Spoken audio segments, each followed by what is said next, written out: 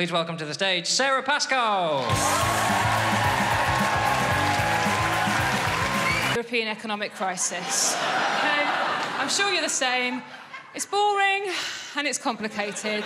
And so basically, there's like this European Central Bank, and they're in charge of everyone's money. Okay? But money is a lot like numbers.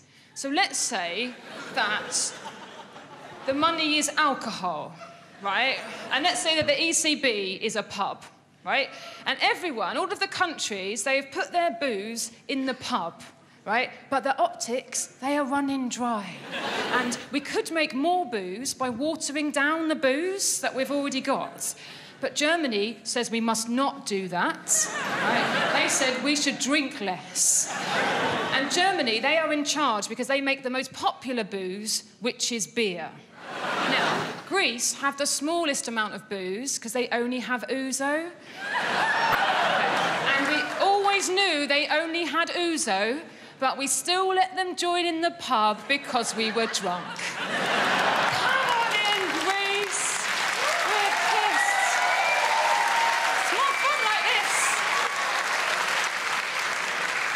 Spain is the next poorest because they only have sangria, and Italy is the next poorest because they only have limoncello. Basically, all of the most shitted countries, it's because they only have drinks that you will drink after all the best drinks have gone. Greece, they need a new landlord, but they can't elect one because all of the landlords are rubbish and keep saying things like, yeah, drink more, Germany will pick up the tab. and Germany are like, no, you need to join AA, you've got a problem. they have got a problem. And why can't we throw Greece out of the pub? Because it's not their card behind the bar, right? It's all of ours and everyone's angry with Greece. But I feel sorry for her. Like, she's the girl who couldn't take it. She's passed out on the floor at the end of the party. And, and that's the European economic crisis. Hashtag we're all going to die.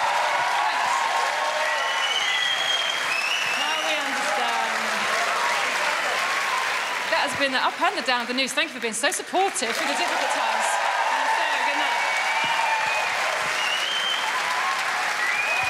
That was Sara Pascoe.